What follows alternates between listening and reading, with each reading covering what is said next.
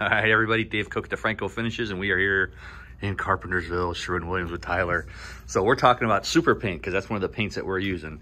All right, so Tyler, give me the lowdown on the different sheen levels of super paint. So if someone wants that, they know what sheen they should get for their house. Sure. So we have uh, four different sheen types available. We have our flat finish, which is our most dead flat, no sheen. We have a velvet finish, which is very comparable to a matte finish in most lines.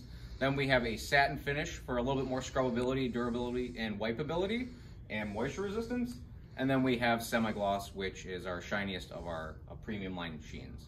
All right, so I know our next paint that we use is duration. So what are the sheens in duration? So we have flat, matte, satin, and semi-gloss, so very similar. I would say the matte and the velvet are very comparable, just different naming systems. Nice. And then for bathrooms, which one is good for bathrooms? That would be our duration and our emerald paint. Both of those would be very excellent for those types of situations. Does it matter what sheen?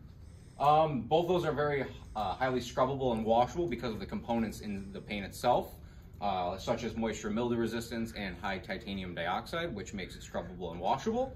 So both of those paints and any sheens are perfect for kitchens, bathrooms, or any high traffic areas. Perfect. Well, thanks, Tyler. Anytime, Dave. you guys got questions, let us know. You can always get a hold of Tyler or Dave at the Sherwin Williams here in Carpentersville. They're our favorite store.